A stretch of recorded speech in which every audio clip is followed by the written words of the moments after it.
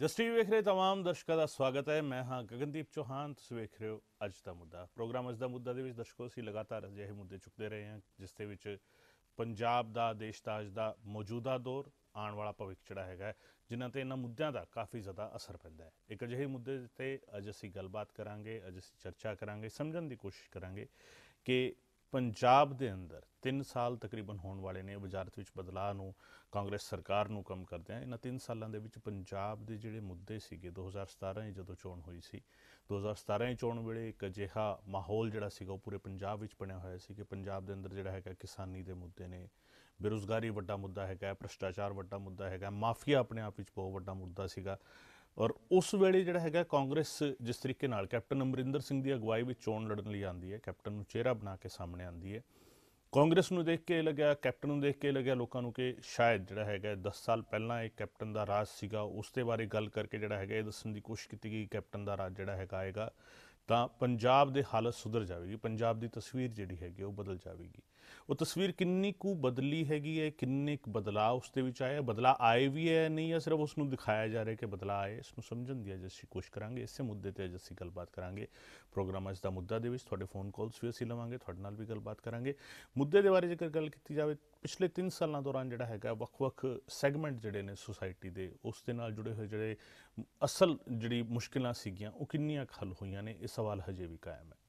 Captain ਜਦੋਂ ਵਜ਼ਾਰਤ ਵਿੱਚ ਆਉਂਦੇ ਨੇ, ਵਜ਼ਾਰਤ ਵਿੱਚ ਆਉਣ ਤੋਂ ਪਹਿਲਾਂ ਵਾਅਦੇ ਬਹੁਤ ਵੱਡੇ ਵੱਡੇ ਕਰਦੇ ਨੇ। ਪਹਿਲਾਂ ਇਹ ਵਾਅਦਾ ਜਿਹੜਾ ਹੈਗਾ, ਕਿਸਾਨਾਂ ਦੀ ਕਰਜ਼ਾ ਮੁਆਫੀ ਦਾ ਵਾਅਦਾ ਜਿਹੜਾ ਹੈਗਾ, ਜਿਸ ਦੇ ਵਿੱਚ ਕੋਈ ਇਹ ਨਹੀਂ ਸੀਗਾ, ਸਟ੍ਰੈਟੇਜਿਕਲੀ ਕੋਈ ਪੁਆਇੰਟ ਨਹੀਂ ਸੀਗੇ, ਕੋਈ ਲੈਵਲ ਨਹੀਂ ਸੀਗਾ ਕਿ ਅਸੀਂ ਇਸ ਲੈਵਲ ਤੱਕ ਦਾ ਕਰਜ਼ਾ ਮਾਫ ਕਰਾਂਗੇ ਜਾਂ ਇੰਨਾ ਕਿਸਾਨਾਂ ਦਾ ਕਰਜ਼ਾ ਮਾਫ ਕਰਾਂਗੇ। ਕਿਸਾਨਾਂ ਦੀ ਕਰਜ਼ਾ ਮਾਫੀ ਇੱਕ ਸਿੰਗਲ ਲਾਈਨ ਜਿਹੜਾ ਸੀਗਾ, ਉਹ ਟਾਈਟਲ ਦਿੱਤਾ ਗਿਆ ਸੀ।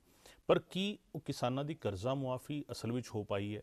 ਕਿਹੜੇ ਕਿਸਾਨਾਂ ਦੀ ਕਰਜ਼ਾ ਮਾਫੀ ਹੋਈ ਹੈ ਔਰ ਉਹ ਕਿੰਨੀ ਕੁ ਹੋਈ ਹੈ? ਕਿਸਾਨਾਂ ਦੀਆਂ ਮੁਸ਼ਕਿਲਾਂ, ਕਿਸਾਨਾਂ ਦੀਆਂ ਔਕੜਾਂ ਜਿਹੜੀਆਂ ਸੀਗੀਆਂ, ਜਿਹੜੇ ਉਹਨਾਂ ਨੂੰ ਦਰਪੇਸ਼ ਆਉਂਦੀਆਂ ਨੇ, ਕਿ ਉਹ ਦੂਰ ਹੋ ਸਕੀਆਂ ਨੇ? ਇਹ ਸਵਾਲ ਹਜੇ ਵੀ ਕਾਇਮ ਹੈ। ਫਿਰ ਕੈਪਟਨ ਅਮਰਿੰਦਰ ਸਿੰਘ ਨੇ ਇੱਕ ਵਾਅਦਾ ਕੀਤਾ ਸੀ, ਘਰ ਘਰ ਰੋਜ਼ਗਾਰ ਦੇਵਾਂਗੇ। ਜਦੋਂ ਰੋਜ਼ਗਾਰ ਦੇਣ ਦੀ ਗੱਲ ਆਈ ਤਾਂ ਰੋਜ਼ਗਾਰ ਦੇਣ ਵੇਲੇ ਜਿਹੜਾ ਹੈਗਾ ਜਿਹੜਾ ਕਾਲਜ ਯੂਨੀਵਰਸਿਟੀਜ਼ ਜਿਹੜਾ ਜੋਬ ਫੈਸਟੀਵਲ ਜਿਹੜਾ ਹੈਗਾ ਆਪਣੇ ਕੈਂਪਸ ਦੇ ਵਿੱਚ ਆਰਗੇਨਾਈਜ਼ ਕਰਦੀਆਂ ਸੀਗੀਆਂ।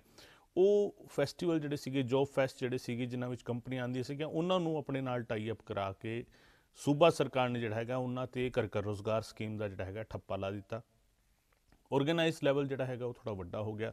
ਤਿੰਨ ਚਾਰ ਕੈਂਪਸ ਨੂੰ ਮਿਲਾ ਕੇ ਆ, ਇੱਕ ਕਲਸਟਰ ਨੂੰ ਮਿਲਾ ਕੇ ਜਿਹੜਾ ਹੈਗਾ ਕਲਸਟਰ ਲੈਵਲ ਤੇ ਆਰਗੇਨਾਈਜ਼ ਹੋਣ ਲੱਗਿਆ।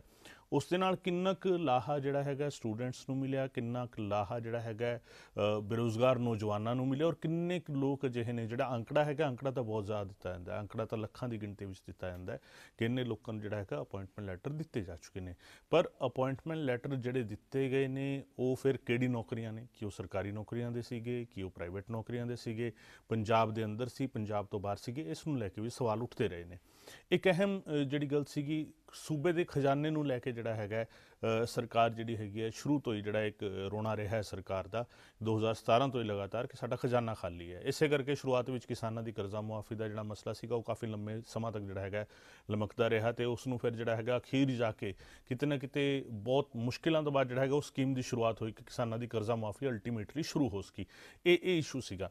ਇੱਕ ਅਹਿਮ ਜਿਹੜੀ ਦੂਜੀ ਵੱਡੀ ਗੱਲ ਸੀਗੀ, ਮਾਫੀਆ ਦੀ ਜਿਹੜੀ ਗੱਲ ਸੀਗੀ, ਮਾਫੀਆ ਨੂੰ ਲੈ ਕੇ ਬਹੁਤ ਸਾਰੇ ਸਵਾਲ ਉੱਠਦੇ ਸੀਗੇ ਅਕਾਲੀ ਭਾਜਪਾ ਸਰਕਾਰ ਦੇ ਰਾਜ ਦੇ ਵਿੱਚ ਕਿ ਹਰ ਚੀਜ਼ ਜਿਹੜੀ ਹੈਗੀ ਆ ਉਹ ਮਾਫੀਆ ਦੇ ਹੱਥਾਂ ਵਿੱਚ ਹੈ। ਕੀ ਉਹ ਮਾਫੀਆ ਹੁਣ ਖਤਮ ਹੋ ਚੁੱਕਿਆ ਹੈ? ਸਵਾਲ ਇਸ ਗੱਲ ਨੂੰ ਲੈ ਕੇ ਵੀ ਹੈ। ਮਾਫੀਆ ਨੂੰ ਲੈ ਕੇ ਜੇਕਰ ਗੱਲ ਕੀਤੀ ਜਾਵੇ, ਸੜਕਾਂ ਤੇ ਜਿਹੜਾ ਟਰਾਂਸਪੋਰਟ ਹੈਗਾ, ਲੋਕਾਂ ਦੀ ਆਵਾਜਾਈ ਦੇ ਲਈ ਜਿਹੜੀਆਂ ਬੱਸਾਂ ਹੈਗੀਆਂ ਨੇ, ਉਹਨਾਂ ਦੇ ਵਿੱਚ ਜਿਹੜਾ ਪੋਲਿਟੀਕਲ ਜਿਹੜਾ ਮਿਲਕੀਅਤ ਹੈਗੀ ਹੈ, ਸਿਆਸੀ ਮਿਲਕੀਅਤ ਵਾਲੀਆਂ ਬੱਸਾਂ ਜਿਹੜੀਆਂ ਨੇ, ਕੀ ਉਹ ਬੰਦ ਹੋ ਗਈਆਂ ਨੇ ਪੰਜਾਬ ਚੋਂ? ਨਹੀਂ, ਅਜਿਹਾ ਨਹੀਂ ਹੈਗੀ ਹੈ ਤਸਵੀਰ ਜਿਹੜਾ ਹੈਗਾ, ਹਜੇ ਵੀ ਬਦਲੀ ਨਹੀਂ ਹੈ।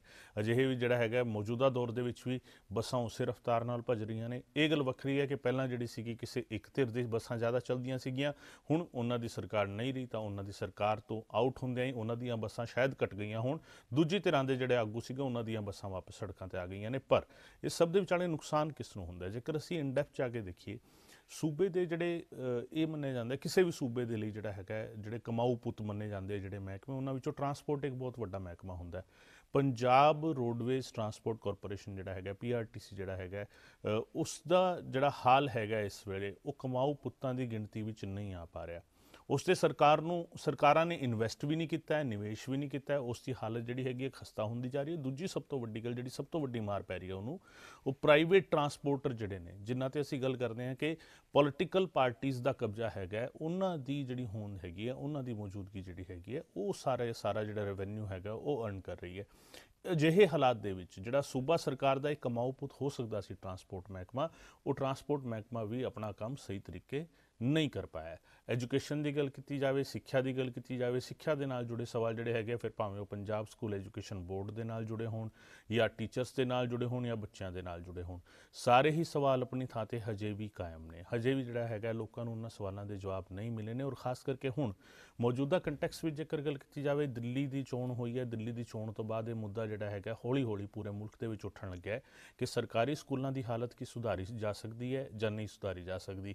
ਔਰ ਜੇਕਰ ਦਿੱਲੀ ਵਿੱਚ ਸੁਧਾਰੀ ਜਾ ਸਕਦੀ ਹੈ ਤਾਂ ਬਾਕੀ ਸੂਬਿਆਂ ਵਿੱਚ ਅਜਿਹਾ ਕਿਉਂ ਨਹੀਂ ਹੋ ਸਕਦਾ? ਇਹ ਸਵਾਲ ਜਿਹੜਾ ਹੈਗਾ, ਹੌਲੀ-ਹੌਲੀ ਜਿਹੜਾ ਹੈਗਾ, ਚਰਚਾ ਵਿੱਚ ਜਿਹੜਾ ਹੈਗਾ ਆਣਾ ਸ਼ੁਰੂ ਹੋ ਗਿਆ ਪੰਜਾਬ ਦੇ ਅੰਦਰ ਸਰਕਾਰੀ ਸਕੂਲਾਂ ਦੀ ਹਾਲਤ ਕੀ ਹੈਗੀ ਹੈ? ਟੀਚਰਸ ਦੀ ਹਾਲਤ ਕੀ ਹੈਗੀ ਹੈ? ਟੀਚਰਸ ਦੀ ਟ੍ਰੇਨਿੰਗ ਦੇ ਲਈ ਕਿਸ ਤਰੀਕੇ ਦੇ ਇੰਤਜ਼ਾਮ ਕੀਤੇ ਗਏ ਨੇ? ਬੱਚਿਆਂ ਨੂੰ ਜਿਹੜੇ ਦਾਖਲੇ ਦਿੱਤੇ ਜਾਂਦੇ ਨੇ, ਕਿਹੜੇ ਸਕੂਲ ਜਿਹੜਾ ਹੈਗਾ, ਹਾਲ ਫਿਲਹਾਲ ਦੇ ਵਿੱਚ ਇੱਕ ਜਿਹੜਾ ਮੰਦਭਾਗਾ ਹਾਦਸਾ ਵਾਪਰਿਆ, ਸੰਗਰੂਰ ਦੇ ਨੇੜੇ ਲੋਂਗੋਵਾਲ ਦੇ ਵਿੱਚ ਇੱਕ ਸਕੂਲ ਵੈਨ ਜਿਹੜੀ ਸੀਗੀ, ਉਸ ਦੇ ਵਿੱਚ ਚਾਰ ਬੱਚੇ ਜੁੰਦੇ ਜਿਹੜੇ ਸੀਗੇ ਉਹ ਸੜ ਗਏ, ਮੌਤ ਦਾ ਸ਼ਿਕਾਰ ਹੋਏ।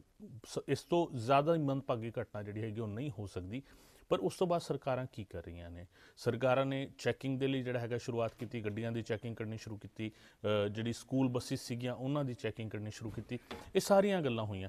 ਪਰ ਇਸ ਸਭ ਦੇ ਵਿਚਾਲੇ ਸਵਾਲ ਹਜੇ ਵੀ ਕਾਇਮ ਰਿਹਾ ਕਿ ਜਿਹੜੀ ਚੈਕਿੰਗ ਜਿਹੜੀ ਚੀਜ਼ਾਂ ਚੱਲ ਰਹੀਆਂ ਨੇ ਚੈਕਿੰਗ ਹੋ ਰਹੀ ਹੈ, ਉਸ ਚੈਕਿੰਗ ਦੇ ਬਾਵਜੂਦ ਕੀ ਇਹ ਹਾਦਸੇ ਜਿਹੜੇ ਹੈਗੇ ਉਹ ਰੁਕ ਜਾਣਗੇ? ਕੀ ਇਹ ਹਾਦਸੇ ਜਿਹੜੇ ਹੈਗੇ ਉਹ ਬੰਦ ਹੋ ਜਾਣਗੇ? ਇਹ ਸਵਾਲ ਆਪਣੀ ਥਾਂ ਤੇ ਕਾਇਮ ਰਿਹਾ। ਐਜੂਕੇਸ਼ਨ ਸੈਕਸ਼ਨ ਵਿੱਚ ਜੇਕਰ ਦੇਖਿਆ ਜਾਵੇ ਤਾਂ ਸਕੂਲਾਂ ਦਾ ਜਿਹੜਾ ਹੈਗਾ ਲੈਵਲ ਕੀ ਹੈਗਾ? ਸਕੂਲ ਪੰਜਾਬ ਵਿੱਚ ਦੋ ਤਰੀਕੇ ਦੇ ਚੱਲ ਰਹੇ ਨੇ। ਇੱਕ ਐਫੀਲੀਏਟਡ ਸਕੂਲ ਚੱਲ ਰਹੇ ਨੇ, ਇੱਕ ਐਸੋਸੀਏਟ ਸਕੂਲ ਚੱਲ ਰਹੇ ਨੇ। ਇਹਨਾਂ ਦੋਵੇਂ ਤਰੀਕੇ ਦੇ ਸਕੂਲਾਂ ਦੇ ਵਿੱਚ ਡਿਫਰੈਂਸ ਕੀ ਹੈਗਾ? ਕਿ ਲੋਕਾਂ ਨੂੰ ਉਸ ਗੱਲ ਦੇ ਬਾਰੇ ਜਾਣਕਾਰੀ ਦਿੱਤੀ ਗਈ ਹੈ। ਜਿਹੜੇ ਆਮ ਲੋਕ ਨੇ, ਉਹਨਾਂ ਦੇ ਲਈ ਪ੍ਰਾਈਵੇਟ ਸਕੂਲ ਪ੍ਰਾਈਵੇਟ ਸਕੂਲ ਹੀ ਹੈ। ਔਰ ਉਹ ਇਸੇ ਲਾਲਚ ਵਿੱਚ, ਕਿਉਂਕਿ ਸਰਕਾਰੀ ਸਕੂਲਾਂ ਵਿੱਚ ਉਹਨਾਂ ਨੂੰ ਇੱਕ ਸਾਰੀਆਂ ਸਹੂਲਤਾਂ ਨਹੀਂ ਮਿਲਦੀਆਂ, ਇਸ ਕਰਕੇ ਉਹ ਐਫੀਲੀਏਟਡ ਸਕੂਲ ਦੀ ਬਜਾਏ ਕਈ ਵਾਰ ਐਸੋਸੀਏਟ ਸਕੂਲ ਜਿਹੜੇ ਹੁੰਦੇ ਨੇ, ਜਿਨ੍ਹਾਂ ਦੀ ਕੋਈ ਮਾਨਤਾ ਨਹੀਂ ਹੁੰਦੀ, ਜਿਨ੍ਹਾਂ ਦਾ ਕੋਈ ਕਾਗਜ਼ ਪੱਤਰ ਪੂਰੇ ਨਹੀਂ ਹੁੰਦੇ, ਜਿਹੜੇ ਇੱਕ ਬੇਸਿਕ ਨੋਰਮਸ ਪੂਰੇ ਕਰਕੇ 2000 ਰੁਪਏ ਦੀ ਸਾਲਾਨਾ ਫੀਸ ਦੇ ਕੇ ਆਪਣੇ ਆਪ ਨੂੰ ਜਿਹੜਾ ਹੈਗਾ ਰਨ ਕਰ ਰਹੇ ਨੇ, ਚਲਾ ਰਹੇ ਨੇ ਔਰ ਉਹ ਐਡਮਿਸ਼ਨ ਲੈ ਲੈਂਦੇ ਨੇ। ਅਖੀਰ ਵਿੱਚ ਜਦੋਂ ਬੋਰਡ ਦੀਆਂ ਪ੍ਰੀਖਿਆਵਾਂ ਆਉਂਦੀਆਂ ਨੇ, ਤਾਂ ਉਹ ਜਿਹੜੇ ਐਫੀਲੀਏਟਡ ਸਕੂਲ ਹੁੰਦੇ ਨੇ, ਉਹਨਾਂ ਦੇ ਨਾਲ ਟਾਈ ਅਪ ਕਰਕੇ ਬੱਚਿਆਂ ਦੇ ਪੇਪਰ ਦਵਾ ਦਿੰਦੇ ਨੇ ਕਿ ਇਸ ਐਜੂਕੇਸ਼ਨ ਸਿਸਟਮ ਨੂੰ ਸੁਧਾਰਨ ਦੇ ਲਈ ਸਰਕਾਰ ਨੇ ਕੋਈ ਕਦਮ ਚੁੱਕਿਆ? ਨਹੀਂ। ਹਜੇ ਤੱਕ ਉਹ ਵੱਡੇ ਪੱਧਰ ਤੇ ਨਜ਼ਰ ਨਹੀਂ ਆਂਦਾ ਸਰਕਾਰ ਨੇ ਜਿੱਥੇ ਬਹਿ ਕੇ ਕਦਮ ਚੁੱਕਣੇ ਹੁੰਦੇ ਆ, ਵਿਧਾਨ ਸਭਾ ਵਿੱਚ ਜਿੱਥੇ ਚਰਚਾ ਹੋਣੀ ਹੁੰਦੀ ਹੈ, ਇਜਲਾਸ ਸੱਦੇ ਜਾਂਦੇ ਜਿੱਥੇ ਇਹ ਉਮੀਦ ਹੁੰਦੀ ਹੈ ਕਿ ਲੋਕਾਂ ਦੇ ਸਾਰੇ ਮੁੱਦੇ ਜਿਹੜੇ ਹੈਗੇ ਉਹ ਵਿਚਾਰੇ ਜਾਣਗੇ। ਇਹ ਸਾਰੇ ਇਜਲਾਸ ਜਿਹੜੇ ਹੁਣ ਤੱਕ ਹੋਏ ਆ ਪੰਜਾਬ ਦੇ ਅੰਦਰ, ਉਹਨਾਂ ਵਿੱਚ ਸਭ ਤੋਂ ਵੱਡੀ ਕਮੀ ਜਿਹੜੀ ਦਰਜ ਕੀਤੀ ਗਈ ਹੈ ਕਿ ਇਜਲਾਸ ਦੀ ਮਿਆਦ ਜਿਹੜੀ ਹੈਗੀ ਹੈ, ਇੱਕ ਤਾਂ ਉਹ ਮਿਆਦ ਇਸ ਤਰੀਕੇ ਨਾਲ ਰੱਖੀ ਜਾਂਦੀ ਹੈ ਕਿ 2 ਦਿਨਾਂ ਦੀ ਕਾਰਵਾਈ ਮੁਸ਼ਕਿਲ ਦੇ ਨਾਲ ਜਿਹੜਾ ਹੈਗਾ ਕਿਸੇ ਵੀ ਇਜਲਾਸ ਵਿੱਚ ਵੇਖਣ ਨੂੰ ਮਿਲਦੀ ਹੈ ਔਰ ਉਸ 2 ਦਿਨਾਂ ਦੀ ਕਾਰਵਾਈ ਦੇ ਵਿੱਚ ਵੀ ਵਿਰੋਧੀ ਧਿਰ ਦੀ ਭੂਮਿਕਾ ਕੀ ਹੁੰਦੀ ਹੈ, ਕਿ ਉਹ ਸਿਰਫ ਵਾਕਆਊਟ ਕਰਨ ਲਈ ਉੱਥੇ ਜਾਂਦੀ ਹੈ ਸਰਕਾਰ ਜਿਹੜੀ ਹੈਗੀ ਹੈ ਆਪਣੀ ਮਰਜ਼ੀ ਦੇ ਨਾਲ ਆਪਣਾ ਇੱਕ ਏਜੰਡਾ ਲੈ ਕੇ ਚੱਲਦੀ ਹੈ ਔਰ ਉਸ ਨੂੰ ਕਿਉਂਕਿ ਬਹੁਮਤ ਹੈਗਾ ਇਸ ਹਿਸਾਬ ਨਾਲ ਉਸ ਏਜੰਡੇ ਨੂੰ ਕਲੀਅਰ ਕਰਕੇ ਔਰ ਉਸ ਤੋਂ ਬਾਅਦ ਜਿਹੜਾ ਹੈਗਾ ਇਜਲਾਸ ਖਤਮ ਹੋ ਜਾਂਦਾ ਹੈ ਕਿ ਲੋਕਾਂ ਦੇ ਮੁੱਦਿਆਂ ਦਾ ਕੋਈ ਹੱਲ ਨਿਕਲ ਰਿਹਾ ਇਹ ਸਵਾਲ ਆਪਣੇ ਆਪ ਵਿੱਚ ਹਜੇ ਵੀ ਕਾਇਮ ਹੈ। ਦਰਸ਼ਕੋ, ਇੱਕ ਛੋਟਾ ਜਿਹਾ ਬ੍ਰੇਕ ਲੈ ਰਹੇ ਹਾਂ। ਬ੍ਰੇਕ ਤੋਂ ਬਾਅਦ ਸਾਡੇ ਨਾਲ ਖਾਸ ਮਹਿਮਾਨ ਵੀ ਸਟੂਡੀਓ ਵਿੱਚ ਜੁੜਨਗੇ। ਉਹਨਾਂ ਦੇ ਨਾਲ ਵੀ ਅਸੀਂ ਗੱਲਬਾਤ ਕਰਾਂਗੇ। ਇੱਕ ਛੋਟੇ ਜਿਹੇ ਬ੍ਰੇਕ ਤੋਂ ਬਾਅਦ ਪ੍ਰੋਗਰਾਮ ਜਾਰੀ ਹੈ।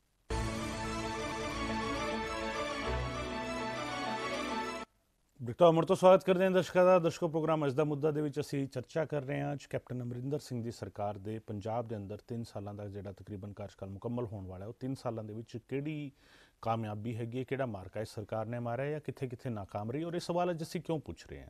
ਇਹ ਸਵਾਲ ਅਸੀਂ ਕਿਉਂ ਚੁੱਕ ਰਹੇ ਹਾਂ? ਦਰਅਸਲ ਇਹ ਸਵਾਲ ਜਿਹੜੇ ਹੈਗੇ ਪਿਛਲੇ ਕੁਝ ਦਿਨਾਂ ਦੇ ਵਿੱਚ ਮੀਡੀਆ ਦੇ ਵਿੱਚ ਜਿਹੜਾ ਹੈਗਾ ਕੁਝ ਚੀਜ਼ਾਂ ਜਿਹੜੀਆਂ ਨੇ ਕੁਝ ਦਸਤਾਵੇਜ਼ ਜਿਹੜੇ ਸੀਗੇ ਉਹ ਸਾਹਮਣੇ ਆਏ। ਇਹ ਦਸਤਾਵੇਜ਼ ਸੀਗੇ ਇੱਕ ਚਿੱਠੀ ਦੇ ਰੂਪ ਵਿੱਚ। ਇਹ ਚਿੱਠੀ ਲਿਖੀ ਸੀਗੀ ਪ੍ਰਗਟ ਸਿੰਘ ਨੇ। ਪ੍ਰਗਟ ਸਿੰਘ ਨੇ ਚਿੱਠੀ ਲਿਖੀ ਕੈਪਟਨ ਅਮਰਿੰਦਰ ਸਿੰਘ ਨੂੰ ਔਰ ਕੈਪਟਨ ਅਮਰਿੰਦਰ ਸਿੰਘ ਦੇ ਨਾਲ ਨਾਲ ਚਿੱਠੀ ਜਿਹੜੀ ਸੀਗੀ, ਇਸ ਦੀ ਇੱਕ ਨਕਲ ਜਿਹੜੀ ਸੀਗੀ, ਇਹ ਜਾਂ ਇਹ ਕਹਿ ਲਿਆ ਜਾਵੇ ਕਿ ਇਹੀ ਚਿੱਠੀ ਦਾ ਜਿਹੜਾ ਕੰਟੈਂਟ ਸੀਗਾ, ਇੱਕ ਸੋਨੀਆ ਗਾਂਧੀ ਨੂੰ ਵੀ ਉਹਨਾਂ ਨੇ ਲਿਖ ਕੇ ਭੇਜਿਆ ਜਿਸ ਦੇ ਵਿੱਚ ਉਹਨਾਂ ਨੇ ਫਿਕਰ ਜ਼ਾਹਿਰ ਕੀਤੀ ਕਿ ਪੰਜਾਬ ਦੇ ਅੰਦਰ ਜਿਹੜਾ ਹੈਗਾ ਇਸ ਵੇਲੇ ਜਿਹੜੇ ਮੁੱਦਿਆਂ ਤੇ ਜਿਹੜੀ ਸਰਕਾਰ ਜਿੱਤ ਕੇ ਆਈ ਸੀਗੀ, ਉਹ ਮੁੱਦੇ ਜਿਹੜੇ ਹੈਗੇ ਹਜੇ ਵੀ ਉਹਨਾਂ ਨੂੰ ਐਡਰੈਸ ਨਹੀਂ ਕੀਤਾ ਗਿਆ ਉਹਨਾਂ ਨੂੰ ਪੂਰੇ ਤਰੀਕੇ ਜਿਹੜਾ ਹੈਗਾ ਸੋਲਵ ਕਰਨ ਦੀ ਕੋਸ਼ਿਸ਼ ਨਹੀਂ ਕੀਤੀ ਗਈ ਹੈ। ਉਹਨਾਂ ਨੇ ਕੈਪਟਨ ਅਮਰਿੰਦਰ ਸਿੰਘ ਨੂੰ ਵੀ ਲਿਖਿਆ ਕਿ ਉਹਨਾਂ ਨੇ ਪਹਿਲਾਂ ਵੀ ਚਿੱਠੀ ਲਿਖੀ ਸੀਗੀ, ਹੁਣ ਦੁਬਾਰਾ ਚਿੱਠੀ ਲਿਖ ਰਹੇ ਨੇ, ਉਸ ਦਾ ਜਵਾਬ ਜਿਹੜਾ ਹੈਗਾ ਉਹ ਮੰਗਣਾ ਚਾਹ ਰਹੇ ਨੇ ਔਰ ਉਹਨਾਂ ਨੇ ਮੀਡੀਆ ਵਿੱਚ ਆ ਕੇ ਇਸ ਗੱਲ ਨੂੰ ਸਵੀਕਾਰ ਵੀ ਕੀਤਾ ਕਈ ਵਾਰ ਅਜਿਹਾ ਹੁੰਦਾ ਹੈ ਕਿ ਅ, ਆਗੂ ਲਿਖ ਦਿੰਦੇ ਆ ਕਹਿ ਦਿੰਦੇ ਆ ਫਿਰ ਬਾਅਦ ਵਿੱਚ ਆ ਕੇ ਮੁੱਕਰ ਜਾਂਦੇ ਆ ਪਰ ਪ੍ਰਗਟ ਸਿੰਘ ਨੇ ਇਸ ਗੱਲ ਨੂੰ ਸਵੀਕਾਰਿਆ ਕਿ ਇਹ ਚਿੱਠੀ ਉਹਨਾਂ ਨੇ ਲਿਖੀ ਹੈ ਇਸ ਦਾ ਇੱਕ ਇੱਕ ਵਰਡ ਉਹ ਔਨ ਕਰਦੇ ਆ ਯਾਨੀ ਯਾਨੀ ਇੱਕ ਇੱਕ ਵਰਡ ਇੱਕ ਇੱਕ ਸ਼ਬਦ ਜਿਹੜਾ ਲਿਖਿਆ ਹੋਇਆ ਹੈ ਉਸ ਨੂੰ ਉਹ ਮੰਨਦੇ ਕਿ ਉਹਨਾਂ ਨੇ ਸਹੀ ਤਰੀਕੇ ਲਿਖਿਆ ਹੈ ਔਰ ਉਹ ਸਮਾਂ ਆਉਣ ਤੇ ਜਿਹੜਾ ਹੈਗਾ ਉਹ ਸਹੀ ਗੱਲ ਕਰਨਗੇ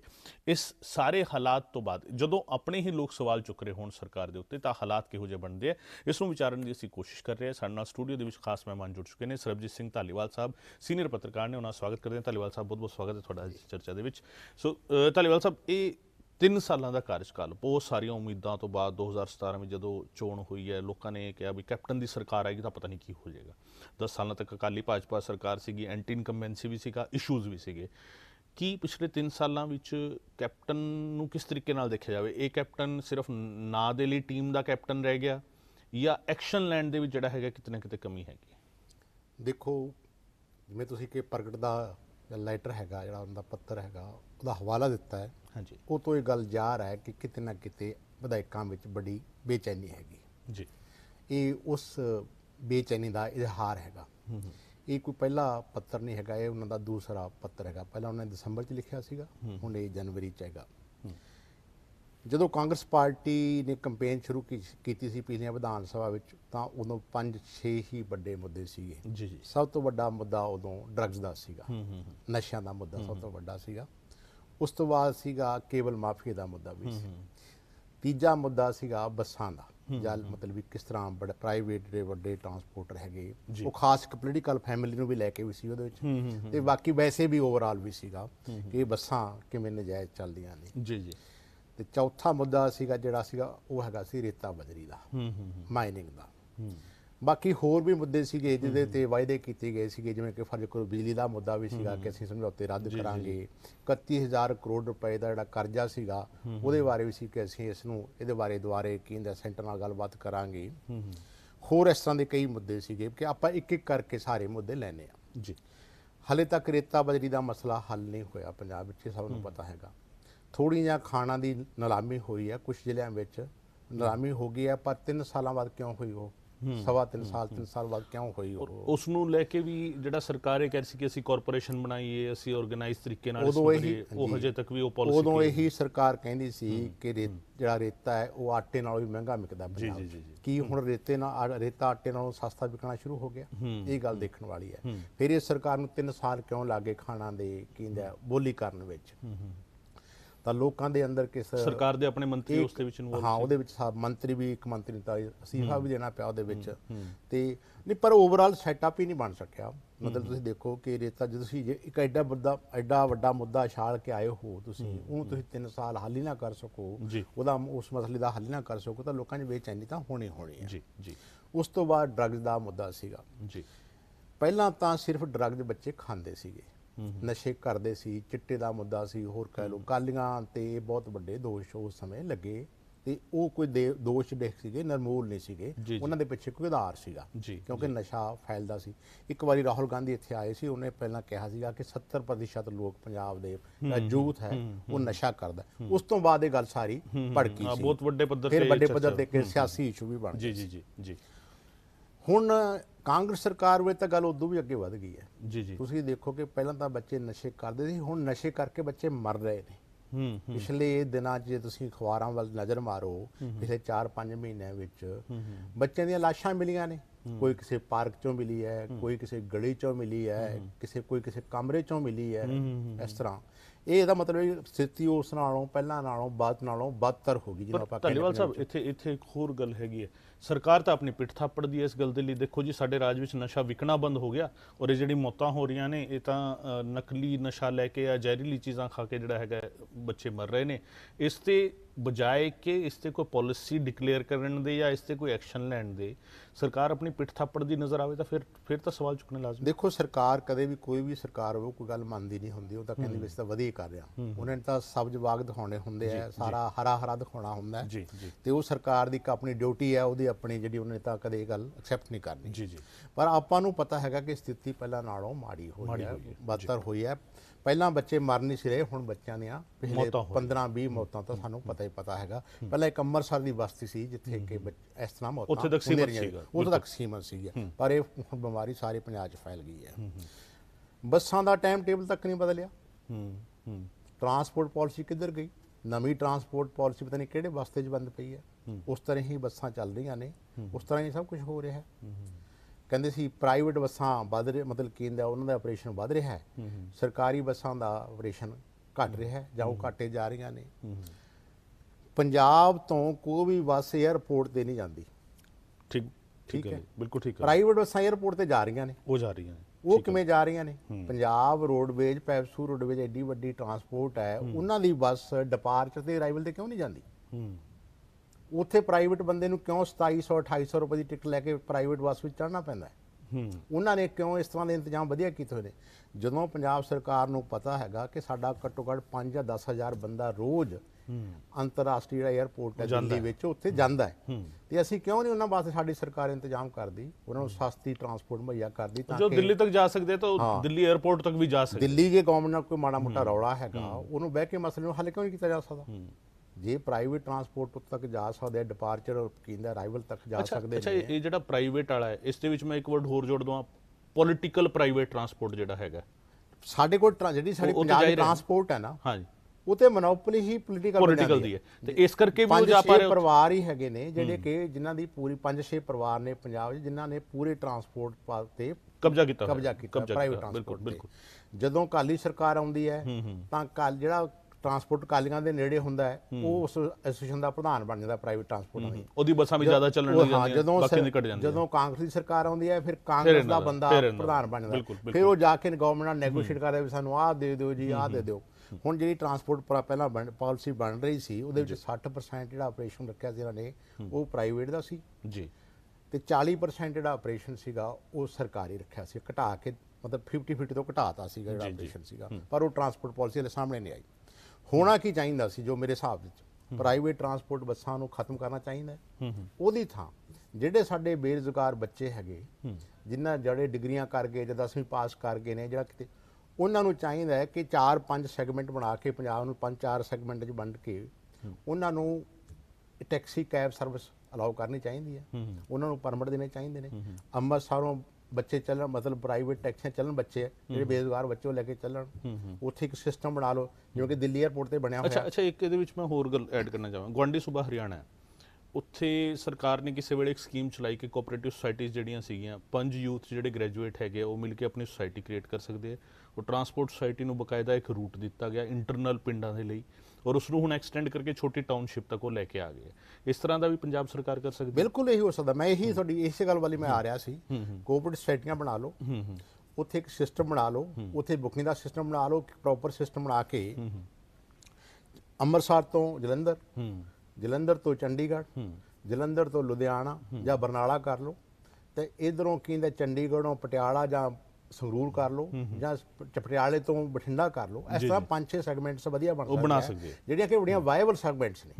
ਉਹਦੇ ਚ ਸਾਡਾ ਜਿਹੜਾ ਸਰਕਾਰੀ ਟਰਾਂਸਪੋਰਟ ਹੈ ਉਹ ਤੇ ਵੀ ਬਰਡਨ ਕਰੇਗਾ। ਜੀ ਜੀ ਜੀ। ਪ੍ਰਾਈਵੇਟ ਟਰਾਂਸਪੋਰਟਾਂ ਦੀ ਜਿਹੜੀ ਪੰਜ ਚਾਰ ਘਰਾਂ ਦੀ ਮੋਨੋਪੋਲੀ ਬਣੀ ਹੋਈ ਹੈ ਟਰਾਂਸਪੋਰਟ ਉਹ ਵੀ ਤੇ, ਖਤਮ ਉਹ ਵੀ ਖਤਮ ਉਹ ਵੀ ਹੋਏਗੀ। ਬੱਚਿਆਂ ਨੂੰ ਅਸੀਂ ਘੱਟੋ ਘੱਟ ਅਸੀਂ 1 ਲੱਖ ਬੱਚੇ ਨੂੰ ਉਸ ਦੇ ਵਿੱਚ ਰੁਜ਼ਗਾਰ ਦੇ ਸਕਾਂਗੇ। ਔਰ ਐਕਚੁਅਲ। ਰੋਜ਼ਗਾਰ ਹੋਏਗਾ ਇੱਕ ਐਕਚੁਅਲ ਰੁਜ਼ਗਾਰ ਹੋਏਗਾ। ਬੱਚੇ ਆਪਣੇ ਆਪ ਸੈਲਫ ਡਿਪੈਂਡੈਂਟ ਹੋਣਗੇ ਆਪਣੀ ਕਮਾਈ ਕਰ ਸਕਣਗੇ। ਹੋ ਸਕਦਾ ਵੀ ਉਹ 'ਚੋਂ ਸਾਰੇ ਬੱਚੇ ਨਾ ਕਾਮਯਾਬ ਹੋਣ। ਹੂੰ ਹੂੰ ਹੂੰ। 30% ਜਾਂ 25% ਰਹਿ ਜਾਣ। ਪਰ 80% ਤਾਂ ਬੱਚੇ ਕਾਮਯਾਬ ਨਾ। ਹੋਣਗੇ ਔਰ ਉਸ ਦਾ ਉਸ ਦਾ ਪਬਲਿਕ ਨੂੰ ਵੀ ਲਾਹਾ ਮਿਲਣਾ ਉਹਨਾਂ ਦਾ ਨੂੰ ਪਤਾ ਵੀ। ਲੱਗੇਗਾ ਕੋਈ ਨਾ ਕੋਈ ਹੋਰ ਜੇ ਉਹ ਚੋਂ ਫੇਲ ਹੋ ਜਾਣਗੇ ਕਿਤੇ ਹੋਰ ਚਲੇ ਜਾਣਗੇ ਉਹਨਾਂ ਪਤਾ ਲੱਗ ਜਾਏਗਾ ਕਿ ਇੱਕ ਉਹਨਾਂ ਦੀ ਟ੍ਰੇਨਿੰਗ ਹੋ ਜਾਏਗੀ ਮੁੱਢਲੀ ਕਿ ਵਪਾਰ ਕਿਵੇਂ ਚਲਾਉਣਾ ਬਿਜ਼ਨਸ ਕਿਵੇਂ ਚੱਲਣਾ ਪ੍ਰਾਈਵੇਟ ਕੰਮ ਕਰਨਾ ਕਿਵੇਂ। ਕਿਉਂਕਿ ਸਰਕਾਰੀ ਨੌਕਰੀਆਂ ਦੀ ਬੜੀ ਘਾਟ ਹੈ। ਬਿਲਕੁਲ ਬਿਲਕੁਲ ਠੀਕ ਗੱਲ ਹੈ। ਪਰ ਅਸੀਂ ਪ੍ਰਾਈਵੇਟ ਟਰਾਂ ਚਾਰ ਪੰਜ ਭਰਾਂ ਨੂੰ ਕਿਉਂ ਅਸੀਂ ਕਿਉਂ ਕਰ ਰਹੇ ਹਾਂ? ਇਹ ਸਵਾਲ ਹਜੇ ਵੀ ਕਾਇਮ ਅ, ਧਾਲੀਵਾਲ ਸਾਹਿਬ ਇੱਕ ਛੋਟਾ ਜਿਹਾ ਬ੍ਰੇਕ ਮੈਂ ਲੈ ਲਵਾਂ। ਬ੍ਰੇਕ ਤੋਂ ਬਾਅਦ ਆਪਾਂ ਵਾਪਸ ਆ ਰਹੇ ਹਾਂ ਛੇਤੀ ਵਾਪਸ ਆ ਰਹੇ ਹਾਂ। ਇਸ ਮੁੱਦੇ ਤੇ ਗੱਲਬਾਤ ਲਗਾਤਾਰ ਜਾਰੀ ਰੱਖਾਂਗੇ। 3 ਸਾਲਾਂ ਜਿਹੜਾ ਰਾਜ ਤਕਰੀਬਨ ਤਕਰੀਬਨ ਮੁਕੰਮਲ ਹੋਣ ਵਾਲਾ ਹੈ। ਉਸ ਵਿੱਚ ਪ੍ਰਗਟ ਸਿੰਘ ਦੀ ਚਿੱਠੀ, ਸੁਨੀਲ ਜਾਖੜ ਦਾ ਪ੍ਰੈਸ ਰਿਲੀਜ਼, ਪ੍ਰਤਾਪ ਬਾਜਵਾ ਦਾ ਬਿਆਨ, ਉਸ ਤੋਂ ਪਹਿਲਾਂ ਨਵਜੋਤ ਸਿੰਘ ਸਿੱਧੂ ਦਾ ਬਿਆਨ ਅਸਤੀਫਾ, ਇਹ ਸਾਰੀਆਂ ਗੱਲਾਂ ਜਿਹੜੀਆਂ ਨੇ ਕਿਸ ਪਾਸੇ ਇਸ਼ਾਰਾ ਕਰ ਰਹੀਆਂ ਨੇ, ਇਸ ਨੂੰ ਸਮਝਣ ਦੀ ਕੋਸ਼ਿਸ਼ ਕਰਾਂਗੇ। ਇੱਕ ਛੋਟੇ ਜਿਹੇ ਬ੍ਰੇਕ ਤੋਂ ਬਾਅਦ ਛੇਤੀ ਵਾਪਸ ਆ ਰਹੇ ਹਾਂ।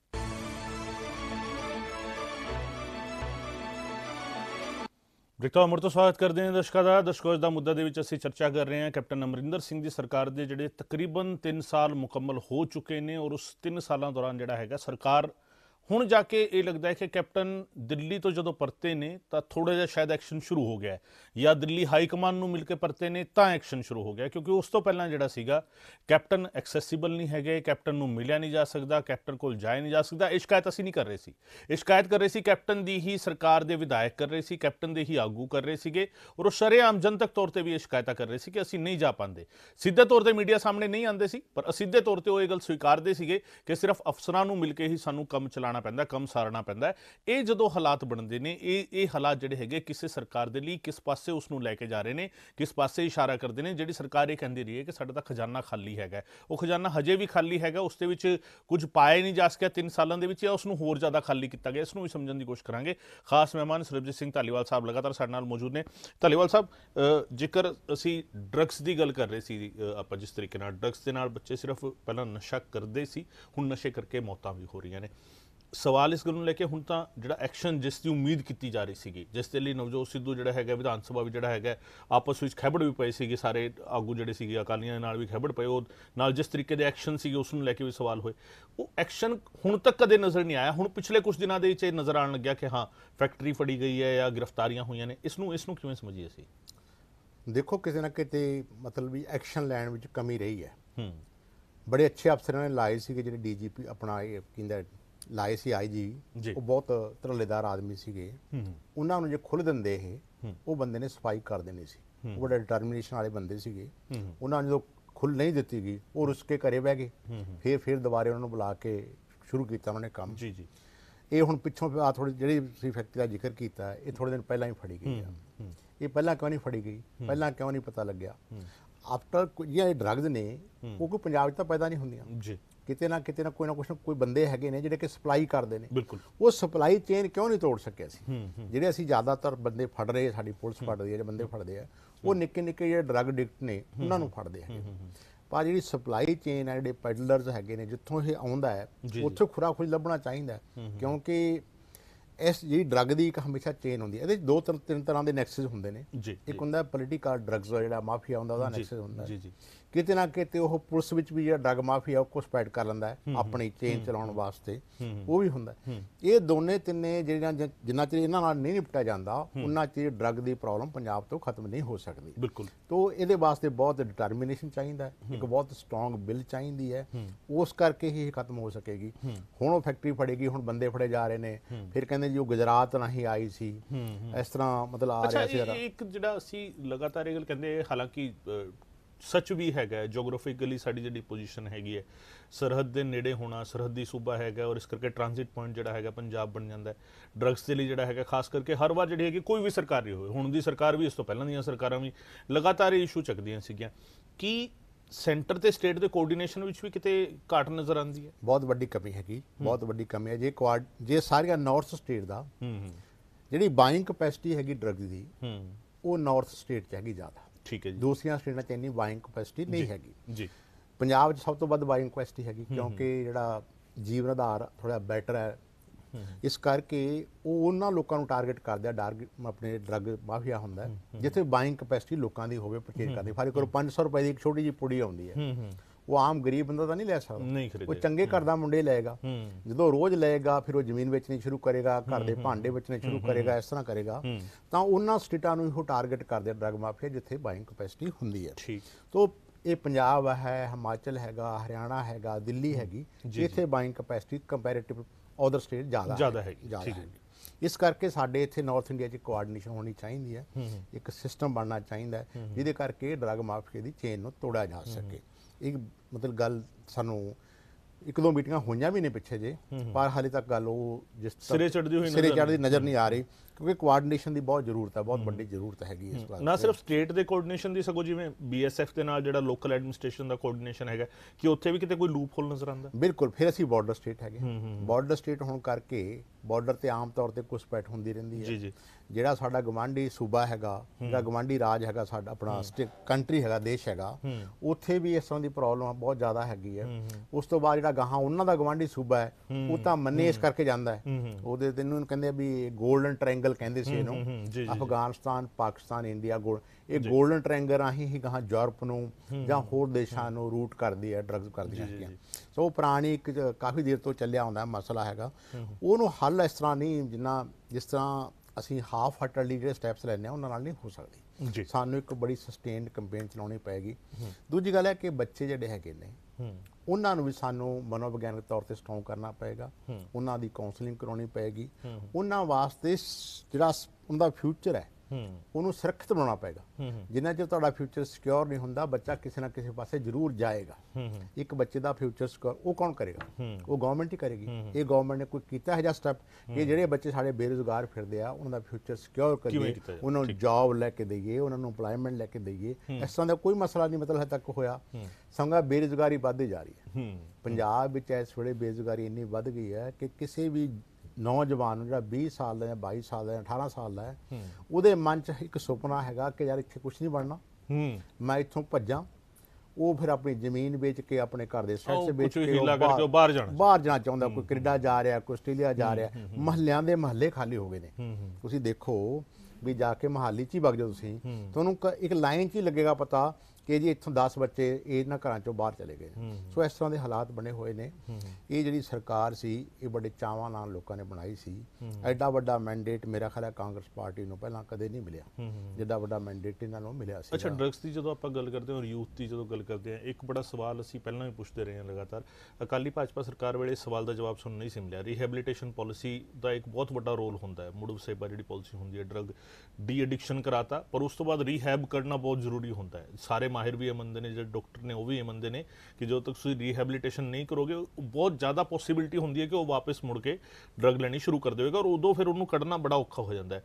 ਪੰਜਾਬ ਸਰਕਾਰ ਦੀ ਮੌਜੂਦਾ ਸਰਕਾਰ ਦੀ ਕੋਈ ਰੀਹੈਬਿਲਿਟੇਸ਼ਨ ਪਾਲਿਸੀ ਤੁਹਾਨੂੰ ਨਜ਼ਰ ਆਉਂਦੀ ਹੈ ਇਸ ਤਰ੍ਹਾਂ? ਕੋਈ ਨਾ ਪਾਲਿਸੀ ਨਹੀਂ ਹੈਗੀ। ਪਹਿਲਾਂ ਜਦੋਂ ਰੌਲਾ ਪੈਂਦਾ ਹੈ ਉਦੋਂ ਕਦੇ ਕਾਉਂਸਲਰਾਂ ਦੀ ਗੱਲ ਹੋ ਜਾਂਦੀ ਹੈ ਕਦੇ ਰੀਹੈਬਿਲਿਟੇਸ਼ਨ ਦੀ ਗੱਲ ਹੋ ਜਾਂਦੀ ਹੈ ਕਦੇ ਕੈਂਪਾਂ ਦੀ ਗੱਲ ਹੋ ਜਾਂਦੀ ਹੈ। ਪਰ ਕੋਈ ਸਸਟੇਨ ਸਾਡਾ ਇੱਕ ਸਿਸਟਮ ਹੋਣਾ ਚਾਹੀਦਾ ਨਾ।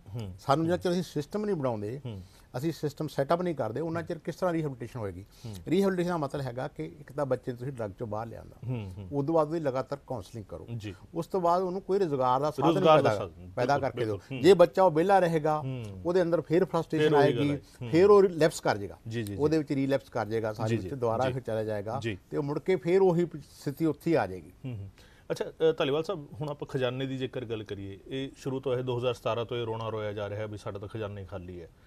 ਪੰਜਾਬ ਜਿਹੜਾ ਸਭ ਤੋਂ ਖੁਸ਼ਹਾਲ ਸੂਬਾ ਰਿਹਾ ਹੈ ਉਹ ਇਹ ਹਮੇਸ਼ਾ ਤੋਂ ਹੀ ਖਾਲੀ ਖਜ਼ਾਨਾ ਤਾਂ ਨਹੀਂ ਸੀ ਰਿਹਾ। ਜੇਕਰ ਇਹ ਮੰਨ ਲਿਆ ਜਾਵੇ ਪਿਛਲੇ 10 ਸਾਲਾਂ 'ਚ ਸਰਕਾਰ ਖਾਲੀ ਖਜ਼ਾਨਾ ਕਰਕੇ ਦੇ ਗਈ ਹੈ ਕੀ ਰਿਸੋਰਸਿਸ ਦੇ ਲੈਵਲ ਤੇ ਹਿਊਮਨ ਰਿਸੋਰਸ ਦੇ ਲੈਵਲ ਤੇ ਜਾਂ ਸਰਕਾਰ ਦੇ ਜਿਹੜੇ ਆਮਦਨ ਦੇ ਜ਼ਰੀਏ ਹੁੰਦੇ ਆ ਉਹਨਾਂ ਦੇ ਲੈਵਲ ਤੇ ਮੌਜੂਦਾ ਸਰਕਾਰ ਕਿਤੇ ਕੋਈ ਕੰਮ ਕਰਦੀ ਨਜ਼ਰ ਆਉਂਦੀ ਹੈ ਖਜ਼ਾਨੇ ਨੂੰ ਵਾਪਸ ਭਰਿਆ ਜਾਵੇ?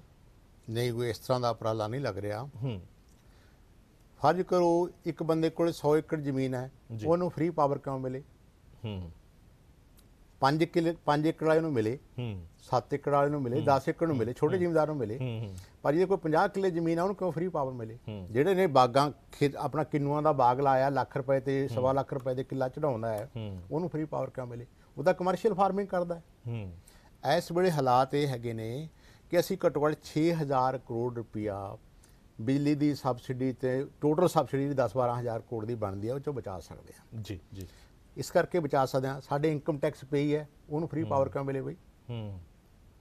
ਜਿਹੜਾ ਫ਼ਰਕ ਮੈਂ ਫਾਰਮਰ ਆ ਮੈਂ ਇਨਕਮ ਟੈਕਸ ਵੀ ਪੇ ਕਰਦਾ ਤੇ ਪਾਵਰ ਫ੍ਰੀ ਲਈ ਜਾਂਦਾ। ਮੈਂ ਐਮਐਲਏ ਆ ਮੈਂ ਵਿਧਾਇਕ ਆ ਮੈਂ ਐਮਪੀ ਆ ਆ। ਮੈਂ ਮੰਤਰੀ ਆ ਮੈਂ ਫ੍ਰੀ ਪਾਵਰ ਲਈ ਜਾਂਦਾ। ਇਸ ਤਰ੍ਹਾਂ ਹੋਰ ਬੜੀਆਂ ਸੈਗਮੈਂਟਸ ਹੈਗੀਆਂ ਨੇ ਜਿਨ੍ਹਾਂ ਕਿ ਜਿਨ੍ਹਾਂ ਨੂੰ ਫ੍ਰੀ ਪਾਵਰ ਵਾਪਸ ਲਈ ਜਾ ਸਕਦੀ ਹੈ। ਉਹਨਾਂ ਨੂੰ ਵਾਪਸ 90000 90000 ਤੱਕ ਪੈਨਸ਼ਨ ਮਿਲਦੀ ਹੈ ਲੋਕਾਂ ਨੂੰ। ਅੱਜ ਕੱਲ ਲੈਕਚਰਾਰ ਦੀ ਪੈਨਸ਼ਨ ਪੰਜਾਬ ਵਿੱਚ 90000 ਹੈ। ਬਿਲਕੁਲ ਠੀਕ ਜਿਹੜਾ ਕਾਲਜ ਲੈਕਚਰਾਰ ਹੈਗਾ। ਇਸ ਤਰ੍ਹਾਂ ਆਈਐਸ ਅਫਸਰ ਦੀ ਮੇਰਾ ਸਵਾ ਲੱਖ ਡੇਢ ਲੱਖ ਹੋਣੀ। ਜੱਜ ਜਿਹੜਾ ਹੈਗਾ ਉਹਦੇ ਇਦੋਂ ਵੱਧ ਹੋ ਸਕਦਾ ਹੋਵੇ ਹਨਾ? ਉਹਨਾਂ ਨੂੰ ਫ੍ਰੀ ਪਾਵਰ ਕਿਉਂ ਮਿਲੇ ਬਈ? ਇਹ ਇੱਕ ਸਿਸਟਮ ਬਣਾਇਆ ਸੀ ਸਰਕਾਰ ਨੂੰ ਇੱਕ ਪ੍ਰਪੋਜ਼ਲ ਬਣਾ ਕੇ ਦਿੱਤੀ ਸੀ। ਪਿੱਛੇ ਜੇ ਡਿਸਕਸ ਵੀ ਹੋਈ। ਉਸ ਤੋਂ ਬਾਅਦ ਸਰਕਾਰ ਇਹ ਤੇ ਆਈ ਨਹੀਂ ਮੁੜ ਕੇ। ਹੂੰ। ਠੀਕ ਹੈ 5 ਕਿੱਲੇ ਸਰਕਾਰ ਨੂੰ ਇਹ ਲੱਗਦਾ ਵੀ ਸਾਡਾ ਆਪਣਾ ਘਾਟਾ ਬਹੁਤ ਜ਼ਿਆਦਾ ਹੋਣਾ ਆਪਣੇ ਹੀ ਬੰਦੇ ਮਰ ਜਾਣੇ। ਹਾਂ 5 ਏਕੜ ਵਾਲਾ 2 ਏਕੜ ਵਾਲਾ 4 ਏਕੜ ਵਾਲਾ 10 ਏਕੜ ਵਾਲਾ ਜਿਹੜਾ ਛੋਟਾ ਜ਼ਿਮੀਂਦਾਰ ਹੈ ਜਿਹੜਾ ਕਿ ਫ੍ਰੀ ਜਿਹਦੀ ਜਿਹਦੀ ਖੇਤੀ ਵਾਇਬਲ ਨਹੀਂ ਬਹੁਤੀ। ਉਹਨੂੰ ਫ੍ਰੀ ਪਾਵਰ ਤੁਸੀਂ ਦੇ ਸਕਦੇ ਹੋ। ਉੱਥੋਂ ਪੈਸਾ ਬਚਾਓ।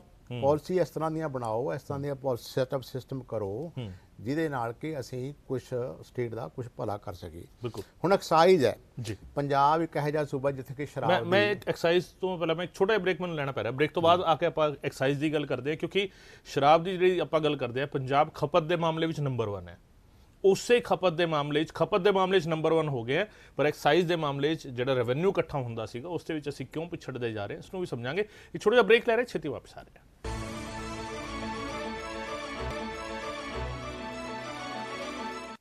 ਬ੍ਰੇਕ ਤੋਂ ਅਮਰ ਤੋਂ ਸਵਾਗਤ ਕਰਦੇ ਹਾਂ ਦਰਸ਼ਕਾਂ ਦਾ। ਪ੍ਰੋਗਰਾਮ ਅੱਜ ਦਾ ਮੁੱਦਾ ਦੇ ਵਿੱਚ ਅਸੀਂ ਚਰਚਾ ਕਰ ਰਹੇ ਹਾਂ। ਕੈਪਟਨ ਅਮਰਿੰਦਰ ਸਿੰਘ ਦੀ ਸਰਕਾਰ ਦੇ 3 ਸਾਲ ਜਿਹੜੇ ਤਕਰੀਬਨ ਤਕਰੀਬਨ ਮੁਕੰਮਲ ਹੋਣ ਵਾਲੇ ਨੇ ਉਹਨਾਂ 3 ਸਾਲਾਂ ਦੇ ਵਿੱਚ ਜਿਹੜੇ ਵਾਅਦੇ ਕੀਤੇ ਗਏ ਸੀ, ਦਾਅਵੇ ਕੀਤੇ ਗਏ ਸੀ, ਉਹ ਕਿੰਨੇ ਮੁਕੰਮਲ ਹੋਏ ਨੇ ਔਰ ਕਿੰਨੇ ਕੁ ਅਧੂਰੇ ਪਏ ਨੇ, ਕਿਸ ਤਰੀਕੇ ਨਾਲ ਇਸ ਨੂੰ ਸਮਝਿਆ ਜਾਵੇ? ਕਾਲਰਸ ਵੀ ਲਗਾਤਾਰ ਜੁੜਨ ਦੀ ਸਾਡੇ ਨਾਲ ਕੋਸ਼ਿਸ਼ ਕਰ ਰਹੇ ਨੇ, ਉਹਨਾਂ ਦੇ ਨਾਲ ਵੀ ਅਸੀਂ ਗੱਲਬਾਤ ਕਰਾਂਗੇ। ਸਾਡੇ ਨਾਲ ਖਾਸ ਮਹਿਮਾਨ ਸਰਬਜੀਤ ਸਿੰਘ ਧਾਲੀਵਾਲ ਸਾਹਿਬ ਸਟੂਡੀਓ ਵਿੱਚ ਮੌਜੂਦ ਨੇ, ਉਹਨਾਂ ਦੇ ਨਾਲ ਵੀ ਅਸੀਂ ਚਰਚਾ ਕਰ ਰਹੇ ਹਾਂ। ਧਾਲੀਵਾਲ ਸਾਹਿਬ ਰੈਵਨਿਊ ਦੀ ਅਸੀਂ ਗੱਲ ਕਰ ਰਹੇ ਸੀ ਬ੍ਰੇਕ ਤੇ ਜਾਣ ਤੋਂ ਪਹਿਲਾਂ ਔਰ ਐਕਸਾਈਜ਼ ਦੀ ਖਾਸ ਕਰਕੇ ਗੱਲ ਕਰ ਰਹੇ ਸੀ ਕਿ ਸ਼ਰਾਬ ਦੀ ਖਪਤ ਦੇ ਵਿੱਚ ਨੰਬਰ 1 ਸੂਬਾ ਹੈਗਾ, ਖਪਤ ਦੇ ਮਾਮਲੇ 'ਚ। ਇਹੀ ਸ਼ਰਾਬ ਜਿਹੜੀ ਹੈਗੀ ਹੈ, ਬਾਕੀ ਸੂਬਿਆਂ ਦੇ ਲਈ ਜਿਹੜਾ ਹੈਗਾ ਰੈਵਨਿਊ ਦਾ ਇੱਕ ਬਹੁਤ ਵੱਡਾ ਸੋਰਸ ਹੈ। ਸਾਡੇ ਲਈ ਕੀ ਹੈ? ਦੇਖੋ ਇਸ ਵਾਰੀ ਸ਼ਰਾਬ ਤੋਂ ਆਮਦਨ ਪੰਜਾਬ ਦੀ ਘਟੇਗੀ। ਹੂੰ। ਜਿਸ ਤਰ੍ਹਾਂ ਰੇਤ ਮਾਫੀ ਹੈ। ਜਾਂ ਮਾਈਨਿੰਗ ਮਾਫੀ ਹੈ ਇਸ ਤਰ੍ਹਾਂ ਹੀ ਸ਼ਰਾਬ ਮਾਫੀਆ ਹੀ ਪੰਜਾਬ 'ਚ ਹੈਗਾ। ਹੂੰ। ਬਾਹਰੋਂ ਆ ਕੇ ਪੰਜਾਬ 'ਚ ਸ਼ਰਾਬ ਵਿਕਦੀ ਹੈ। ਜੀ। ਉਹਦੇ ਕਰਕੇ ਠੇਕੇਦਾਰਾਂ ਦੀ ਜਿਹੜੀ ਖਪਤ ਹੈ ਉਹ ਘਟ ਗਈ ਹੈ ਬਹੁਤ ਜ਼ਿਆਦਾ। ਹੂੰ। ਇਸ ਵਾਰੀ ਸਾਡੀ ਆਮਦਨ 5500 ਕਰੋੜ ਤੋਂ ਨਹੀਂ ਵਧੇਗੀ। ਹਾਲਾਂਕਿ ਜਿਹੜਾ ਟਾਰਗੇਟ ਹੈ ਜਾਂ ਅਸੀਂ ਬਜਟ ਵਿੱਚ ਜਿਹੜਾ ਐਸਟੀਮੇਟ ਰੱਖਿਆ ਸੀਗਾ ਉਹ ਸਭ ਉਹ 6500 ਕਰੋੜ ਦੇ ਆਸ-ਪਾਸ ਸੀਗਾ 6000 ਕਰੋੜ ਤੋਂ ਉੱਪਰ ਸੀਗਾ। 1000 ਕਰੋੜ ਰੁਪਏ ਦਾ ਘਾਟਾ ਸਖਸਾਈ ਚੋਂ ਮਤਲਬ ਪੈਣਾ ਪੈਣਾ। ਉਹ ਉਸ ਸਮੇਂ ਪੈ ਰਿਹਾ ਜਦੋਂ ਕਲੱਬ ਖੁੱਲ ਰਹੇ ਨੇ। ਜੀ। ਜਦੋਂ ਸਾਰਾ ਸ਼ਰਾਬ ਦੀ ਖਪਤ ਵੱਧ ਰਹੀ ਆ ਓਵਰਆਲ ਅੱਛਾ ਕਾਲਰ ਸਾਡੇ ਨਾਲ। ਜੁੜ ਰਹੇ ਨੇ? ਉਹਨਾਂ ਨਾਲ ਗੱਲ ਕਰਦੇ ਆਪਾਂ? ਹੈਲੋ ਹੈਲੋ ਸਤਿ ਸ਼੍ਰੀ ਅਕਾਲ ਜੀ ਕੌਣ ਬੋਲ ਰਹੇ ਹੋ ਜੀ? ਕਿੱਥੋਂ ਬੋਲ ਰਹੇ ਹੋ? ਮੈਂ ਘਰੇਵਾਲ ਬੋਲਦਾ ਡਾਕਟਰ ਜੀ ਗਰੇਵਾਲ ਸਾਹਿਬ ਕੀ ਕਹਿਣਾ ਚਾਹੋਗੇ ਇਸ ਦੇ ਮੁੱਦੇ ਤੇ? ਮੁੱਦਾ ਤਾਂ ਤੁਹਾਡੇ ਹਰ ਰੋਜ਼ ਮੁੱਦੇ ਤਾਂ ਵਧੀਆ ਤੋਂ ਵਧੀਆ ਹੁੰਦੇ ਆ। ਜੀ ਬਹੁਤ ਬਹੁਤ ਸ਼ੁਕਰੀਆ। ਸ਼ੁਕਰ ਬਸ ਮਸਲਾ ਇਹ ਗੱਲ ਦਾ ਵੀ ਉਹਨਾਂ 'ਚ ਕਿਉਂ ਨੇ ਤਬਦੀਲੀ ਆ ਰਹੀ? ਅੱਜ ਅੱਜ ਸਾਡੀ ਲੀਡਰਸ਼ਿਪ ਜਿਹੜੇ ਚੰਗੇ ਲੀਡਰ ਆ ਉਹਨਾਂ ਨੂੰ ਕੋਈ ਪੁੱਛਦਾ ਨਹੀਂ। ਹੂੰ। ਮਾੜੇ ਲੀਡਰਾਂ ਦੀ ਬ- ਬੋਲਬਾਲਾ। ਹੂੰ। ਹਾਂਜੀ। ਤੇ ਸਾਨੂੰ ਅੱਜ ਕੀ ਅੱਜ ਕੀ ਸਾਡੇ ਹਿੰਦੁਸਤਾਨ ਨੂੰ ਲੋੜ ਕੀ ਆ? ਹੂੰ। ਐਜੂਕੇਸ਼ਨ ਜੀ। ਹੈਲਥ ਜੀ। ਦੋ ਗੱਲਾਂ ਇਹ ਹੁਣ ਦੂਸਰੀ ਗੱਲ ਮੈਂ ਇੱਕ ਹੋਰ ਕਹਿਣੀ ਚਾਹੁੰਦਾ। ਜੀ ਜੀ। ਵੀ ਐਮਐਲਏ ਮਿਨਿਸਟਰ ਆ ਇਹ ਜਦੋਂ ਤਾਂ ਮੌਜੂਦਾ ਹੁੰਦੇ ਨੇ। ਜੀ। ਇਹਨਾਂ ਨੂੰ ਸਾਰਾ ਕੁਝ ਮਿਲਦਾ। ਪਹਿਲੀ ਗੱਲ ਤਾਂ 5 ਸਾਲ ਇਹ ਬਹੁਤ ਲੁੱਟਦੇ ਆ। ਇਹਨਾਂ ਨੂੰ ਇਹ ਪੁੱਛ ਮੈਂ ਤੁਹਾਨੂੰ ਇਹ ਪੁੱਛਣਾ ਚਾਹੁੰਦਾ ਤੁਹਾਡੇ ਟੀਵੀ ਦੇ ਮਦਰ ਇਹਨਾਂ ਨੂੰ ਬਾਅਦ ਦੇ ਵਿੱਚ ਕਾ ਜਿਹੜੀ ਪੈਨਸ਼ਨ ਆ ਉਹ ਕਾਹਦੀ ਦਿੱਤੀ ਜਾਂਦੀ ਆ? ਹੂੰ ਇਹ ਆਪਣੇ ਆਪ ਵਿੱਚ ਬਹੁਤ ਵੱਡਾ ਸਵਾਲ ਹੈ ਬਹੁਤ ਵੱਡਾ ਸਵਾਲ ਹੈ ਇਹ। ਨਹੀਂ ਨਹੀਂ ਸਰ ਮੈਂ ਨਹੀਂ ਦੱਸੋ ਉਹਨਾਂ ਨੂੰ ਜਦੋਂ ਇੱਕ ਮਿੰਟ ਜੀ। 5 ਸਾਲ ਮੌਜੂਦਾ ਨੇ ਉਹਨਾਂ ਨੂੰ ਠੀਕ ਆ? ਉਹਨਾਂ ਨੂੰ ਦਿਓ।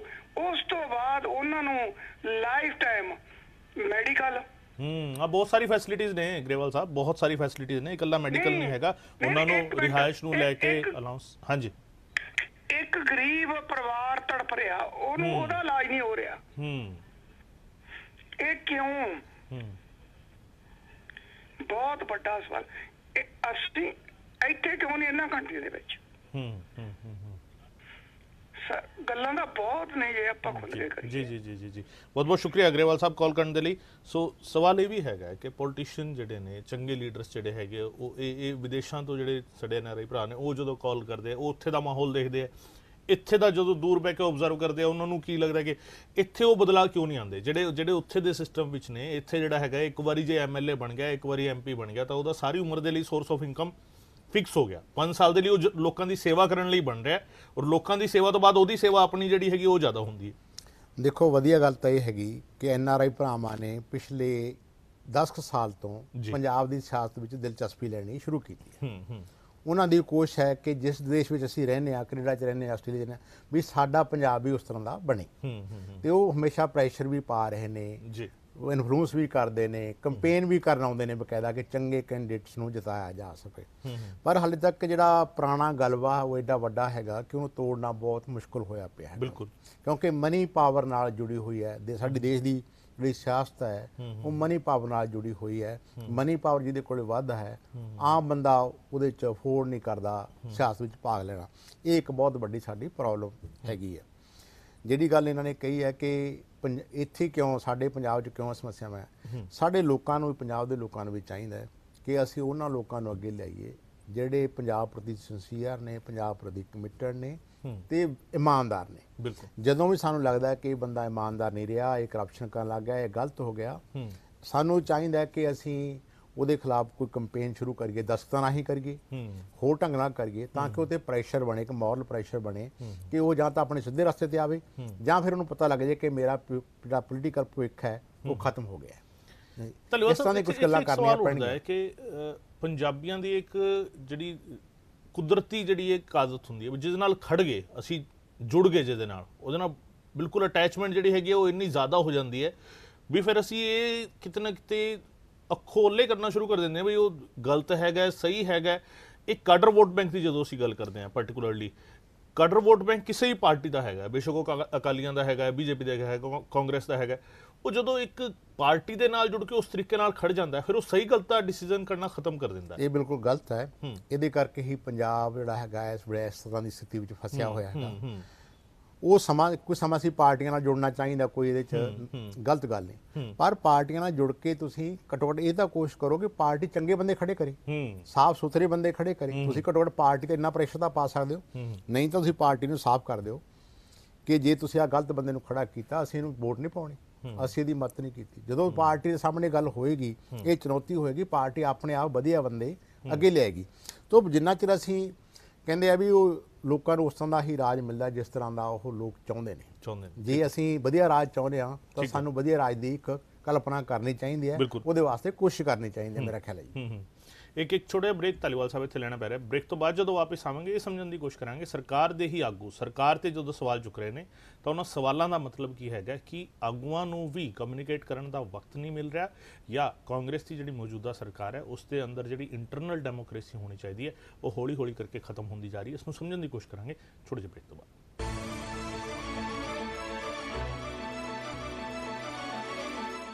ਪ੍ਰਿਤਵਾ ਅਮਰਤ ਸਵਾਗਤ ਕਰਦੇ ਹਾਂ ਦਰਸ਼ਕਾਂ ਦਾ। ਪ੍ਰੋਗਰਾਮ ਅੱਜ ਦਾ ਮੁੱਦਾ ਦੇ ਵਿੱਚ ਅਸੀਂ ਗੱਲ ਕਰ ਰਹੇ ਹਾਂ ਕੈਪਟਨ ਅਮਰਿੰਦਰ ਸਿੰਘ ਦੀ ਸਰਕਾਰ ਦੇ ਜਿਹੜੇ ਤਕਰੀਬਨ 3 ਸਾਲ ਮੁਕੰਮਲ ਹੋਣ ਜਾ ਰਹੇ ਨੇ ਉਸ ਸਾਲਾਂ ਦੌਰਾਨ ਜਿਹੜਾ ਹੈਗਾ ਕੀ ਕੁਝ ਹੋਇਆ ਕੀ ਕੁਝ ਨਹੀਂ ਹੋਇਆ ਔਰ ਹੁਣ ਜਿਹੜਾ ਮੌਜੂਦਾ ਦੌਰ ਦੇ ਵਿੱਚ ਹੋ ਰਿਹਾ ਹੈ, ਜਿਹੜੀਆਂ ਚਿੱਠੀਆਂ ਲਿਖੀਆਂ ਜਾ ਰਹੀਆਂ ਨੇ ਜਿਹੜੇ ਬਿਆਨ ਸਾਹਮਣੇ ਆ ਰਹੇ ਨੇ ਆਪਣੀ ਹੀ ਪਾਰਟੀ ਦੇ ਲੋਕ ਜਿਹੜਾ ਹੈਗਾ ਸਰਕਾਰ ਦੀ ਕਾਰਜਸ਼ੈਲੀ ਤੇ ਸਵਾਲ ਚੁੱਕ ਰਹੇ ਨੇ। ਇਹ ਕਿਸ ਪਾਸੇ ਇਸ਼ਾਰਾ ਕਰਦੇ ਨੇ? ਧਾਲੀਵਾਲ ਸਾਹਿਬ ਲਗਾਤਾਰ ਸਾਡੇ ਨਾਲ ਸਟੂਡੀਓ 'ਚ ਮੌਜੂਦ ਨੇ। ਧਾਲੀਵਾਲ ਸਾਹਿਬ ਸਭ ਤੋਂ ਪੁਰਾਣੀ ਪਾਰਟੀਆਂ 'ਚੋਂ ਜੇਕਰ ਗਿਣਿਆ ਜਾਵੇ ਕਾਂਗਰਸ ਉਹ ਪਾਰਟੀ ਰਹੀ ਹੈ। ਉਸੇ ਪਾਰਟੀ ਦੀ ਵਜ਼ਾਰਤ ਦੇ ਵਿੱਚ ਉਸੇ ਪਾਰਟੀ ਦੇ ਐਮਐਲਏ ਉਸੇ ਪਾਰਟੀ ਦੇ ਆਗੂ ਉਸੇ ਪਾਰਟੀ ਦੇ ਐਮਪੀ ਪਾਰਟੀ ਦੀ ਹੀ ਸਰਕਾਰ ਦੇ ਸਵਾਲ ਚੁੱਕ ਰਹੇ ਨੇ। ਇਸ ਨੂੰ ਕੀ ਸਮਝੀਏ? ਕਮਿਊਨੀਕੇਸ਼ਨ ਗੈਪ ਕਿੱਥੇ ਹੈਗਾ ਹੈ? ਕੈਪਟਨ ਐਕਸੈਸਿਬਲ ਨਹੀਂ ਹੈਗੇ ਇਹ ਗੱਲ ਸਹੀ ਸਾਬਿਤ ਹੁੰਦੀ ਜਾ ਰਹੀ ਹੈ ਜਾਂ ਕੈਪਟਨ ਕਿਸੇ ਹੋਰ ਲਾਈਨ ਨੂੰ ਟੋ ਕਰ ਰਹੇ ਨੇ ਕਾਂਗਰਸ ਦੀ ਲਾਈਨ ਕੁਝ ਹੋਰ ਹੈ? ਦੇਖੋ ਉਹਦੇ ਵਿੱਚ ਦੋ ਤਰ੍ਹਾਂ ਦੇ ਦੋ ਗੱਲਾਂ ਹੈਗੀਆਂ ਵੱਡੀਆਂ। ਜੀ। ਦੋ ਸਾਲ ਰਹਿ ਗਏ ਨੇ। ਇਲੈਕਸ਼ਨ ਤਕਰੀਬਨ ਤਕਰੀਬਨ ਡੇਢ ਸਾਲ ਜਦੋਂ ਰਹਿ ਜਾਂਦਾ ਹੈ ਤਾਂ ਇਲੈਕਸ਼ਨ ਵਾਸਤੇ ਇੱਕ ਮਾਹੌਲ ਤਿਆਰ ਹੋ ਜਾਂਦਾ ਹੈ। ਸਾਰੇ ਬੰਦੇ ਉਧਰ ਲੱਗ ਜਾਂਦੇ ਨੇ ਸਾਰਾ ਕੰਮਕਾਰ ਛੱਡ ਕੇ। ਠੀਕ ਹੈ। ਤਿੰਨ ਸਾਲਾਂ ਵਿੱਚ ਹੋਇਆ ਕੁਝ ਨਹੀਂ। ਹੂੰ। ਵਾਅਦੇ ਵੀ ਨਹੀਂ ਪੂਰੇ ਹੋਏ। ਬੱਚਿਆਂ ਨੂੰ ਮੋਬਾਈਲ ਫੋਨ ਦੇਣੇ ਸੀ ਉਹ ਗੱਲ ਕਿਤੇ ਚਲੀ ਗਈ ਹੈਗੀ। ਘਰ ਘਰ ਰੁਜ਼ਗਾਰ ਦੇਣਾ ਸੀ ਉਹ ਗੱਲ ਨਹੀਂ ਬਣੀ। ਤਾਂ ਜਿੰਨੇ ਵੀ ਕਾਂਗਰਸ ਦੇ ਐਮਐਲਏ ਨੇ ਉਹਨਾਂ ਵਿੱਚੋਂ ਬਹੁਤ ਸਾਰਿਆਂ ਨੂੰ ਆਪਣਾ ਜਿਹੜਾ ਭਵਿੱਖ ਉਹ ਬੜਾ ਧੁੰਦਲਾ ਨਜ਼ਰ ਆ ਰਿਹਾ। ਹੂੰ ਇਸ ਕਰਕੇ ਉਹਨਾਂ ਦੇ ਅੰਦਰ ਦਿਨੋ ਦਿਨ ਬੇਚੈਨੀ ਵੱਧਦੀ ਜਾ ਰਹੀ ਹੈ। ਇਸੇ ਬੇਚੈਨੀ ਦਾ ਸਿੱਟਾ ਹੈਗਾ ਕਿ ਪਹਿਲਾਂ ਨਿਰਮਲ ਸਿੰਘ ਜੇ ਨਿਰਮਲ ਸਿੰਘ ਸ਼ਤਰਾਣਾ ਸੀ। ਜੀ ਜੀ ਉਹਨਾਂ ਨੇ ਗੱਲ ਕਹੀ ਕਿ ਮੇਰੇ ਇਲਾਕੇ ਵਿੱਚ ਕੋਈ ਵਿਕਾਸ ਨਹੀਂ ਹੋ ਰਿਹਾ। ਇਹ ਮੰਡੀ ਵੀ ਨਹੀਂ ਬਣੀ ਮੇਰੇ ਇਲਾਕੇ ਵਿੱਚ ਤਾਂ। ਹੁਣ ਉੱਥੇ ਮਾੜਾ ਮੋਟਾ ਕੰਮ ਸ਼ੁਰੂ ਹੋਇਆ। ਠੀਕ ਹੈ। ਉਸ ਤੋਂ ਬਾਅਦ ਮਦਨ ਲਾਲ ਮਦਨ ਲਾਲ ਜਲਾਲਪੁਰਾ ਜਿਹੜਾ ਹੈਗੇ ਨੇ ਉਹਨਾਂ ਨੇ ਵੀ ਮੁੱਦਾ ਇਹ ਬਣਾਇਆ। ਉੱਥੇ ਵੀ ਇਸ ਤਰ੍ਹਾਂ ਦਾ ਵਿਕਾਸ ਦਾ ਮੁੱਦਾ ਸੀ ਹੋਰ ਗੱਲਾਂ ਸੀਗੀਆਂ। ਫਿਰ ਤੀਜਾ ਹਰਦਿਆਲ ਸਿੰਘ ਕੰਬੋਜ ਜਿਹੜੇ ਰਾਜਪੁਰੇ ਵਾਲੇ ਨੇ ਉਹਨਾਂ ਨੇ ਵੀ ਇਹ ਗੱਲ ਨੂੰ ਮੁੱਦਾ ਉਹਨਾਂ ਨੇ ਪੁਲਿਸ ਵਾਲਿਆਂ ਦੀ ਸ਼ਿਕਾਇਤ ਕੀਤੀ ਹੋਰ ਗੱਲਾਂ ਸ਼ਿਕਾਇਤ ਕੀਤੀਆਂ ਕਰਪਸ਼ਨ ਦੀ ਗੱਲ ਕਹੀ ਇਸ ਤਰ੍ਹਾਂ ਦੀਆਂ ਕੁਝ ਗੱਲਾਂ ਕਹੀਆਂ। ਤੋਂ ਉਹਨਾਂ 'ਚ ਬੇਚੈਨੀ ਇਸ ਕਰਕੇ ਹੈਗੀ ਕਿ ਕੰਮ ਤਾਂ ਜਿਹੜੇ ਹੋਏ ਨਹੀਂ ਜਿਹੜੇ ਲੋਕਾਂ ਨਾਲ ਅਸੀਂ ਵਾਅਦੇ ਕੀਤੇ ਸੀ ਲੋਕ ਸਾਨੂੰ ਮੂੰਹ ਨਹੀਂ ਲਾਉਂਦੇ ਹੁਣ। ਤਾਂ ਇਸ ਕਰਕੇ ਉਹਨਾਂ ਦੇ ਅੰਦਰ ਜਿਹੜੀ ਇੱਕ ਬਣੀ ਸੁਰੱਖਿਆ ਦੀ ਭਾਵਨਾ ਬਣੀ ਹੈਗੀ ਉਹਦੇ ਡਰ ਬਣ ਕਰਕੇ। ਇੱਕ ਡਰ ਬਣ ਗਿਆ। ਇਹ ਯੰਗ ਨੇ ਇਹਨਾਂ ਦਾ ਹਲੇ 30 40 40 ਸਾਲ ਦਾ ਫਿਊਚਰ ਪਿਆ ਪੋਲੀਟੀਕਲ ਫਿਊਚਰ ਪਿਆ ਹੈਗਾ। ਉਹ ਕਹਿੰਦਾ ਵੀ ਜੇ ਅਸੀਂ ਕੱਲ ਨੂੰ ਹਾਰ ਗਏ ਜਾਂ ਕੱਲ ਨੂੰ ਅਸੀਂ ਨਾ ਸਿਰੇ ਚੜੇ ਤੇ ਮੁੜ ਕੇ ਅਗਲੇ 5 ਸਾਲਾਂ ਬਾਅਦ ਪਤਾ ਨਹੀਂ ਕੋਈ ਨਵਾਂ ਬੰਦਾ ਆ ਜਾਏਗਾ। ਟਿਕਟ ਸ਼ਾਇਦ ਉਹਨੂੰ ਮਿਲ ਜੇ।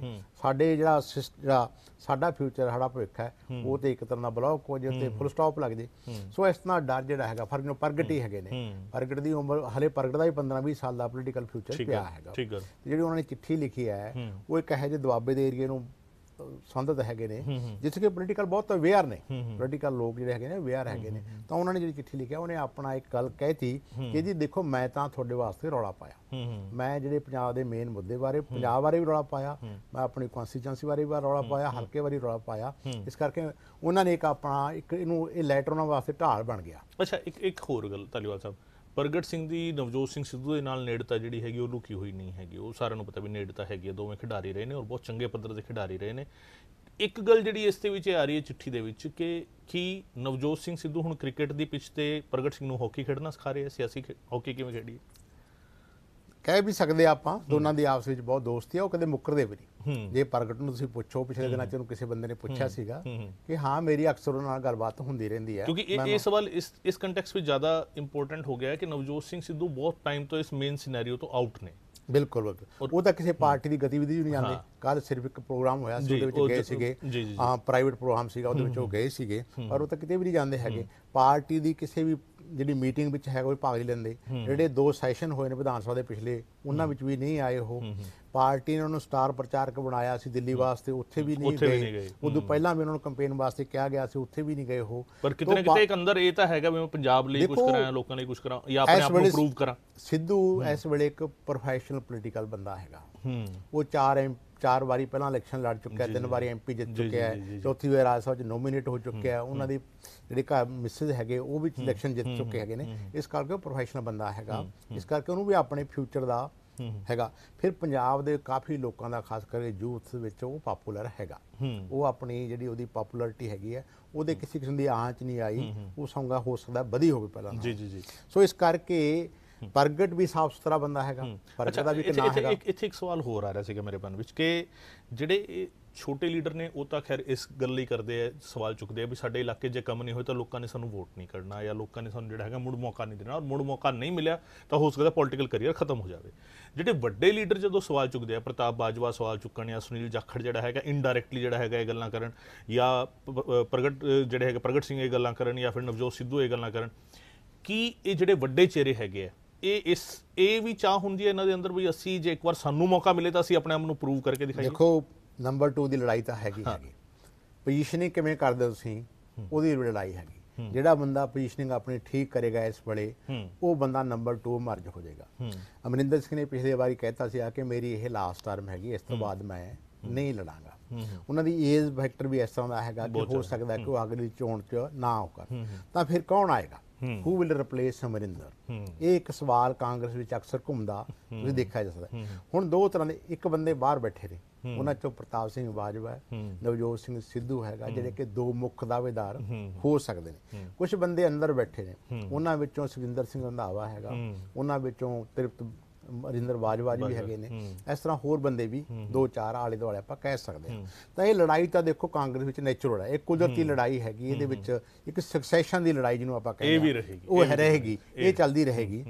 ਤੋ ਉਹਦੇ ਚ ਹਰੇਕ ਬੰਦਾ ਆਪਣੇ ਆਪ ਨੂੰ ਪੋਜੀਸ਼ਨ ਉਸ ਢੰਗ ਨਾਲ ਕਰ ਰਿਹਾ ਕਿ ਮੈਂ ਨੰਬਰ 2 ਨੰਬਰ 2 ਮੈਂ ਬਣ ਜਾਵਾਂ। ਇਹ ਲੜਾਈ ਵੀ ਕਿਤੇ ਨਾ ਕਿਤੇ ਹੈਗੀ ਹੈ। ਯਾਨੀ ਪੰਜਾਬ ਦੇ ਹਿੱਤਾਂ ਦਾ ਸਵਾਲ ਵੀ ਹੈਗਾ ਨਾਲ ਹੀ ਸਵਾਲ ਜਿਹੜਾ ਹੈਗਾ ਆਪਣੇ ਪੋਲੀਟੀਕਲ ਫਿਊਚਰ ਦਾ ਵੀ ਹੈਗਾ। ਧਾਲੀਵਾਲ ਸਾਹਿਬ ਬਹੁਤ ਬਹੁਤ ਸ਼ੁਕਰੀਆ। ਤੁਸੀਂ ਅੱਜ ਸਾਡੇ ਪ੍ਰੋਗਰਾਮ ਵਿੱਚ ਸਾਡੇ ਨਾਲ ਸ਼ਾਮਿਲ ਹੋਏ। ਤੁਸੀਂ ਸਾਡੇ ਨਾਲ ਇੰਨੀਆਂ ਸਾਰੀਆਂ ਗੱਲਾਂ ਕੀਤੀਆਂ। ਜਿਹੜੇ ਸਵਾਲ ਸਾਡੇ ਮਨ ਵਿੱਚ ਸੀਗੇ ਉਹਨਾਂ ਦੇ ਜਵਾਬ ਦਿੱਤੇ। ਦਰਸ਼ਕੋ ਇਸ ਦਾ ਮੁੱਦਾ ਦੇ ਵਿੱਚ ਅੱਜ ਦੇ ਲਈ ਇੰਨਾ ਹੀ। ਇਜਾਜ਼ਤ ਦਿਓ। ਧੰਨਵਾਦ।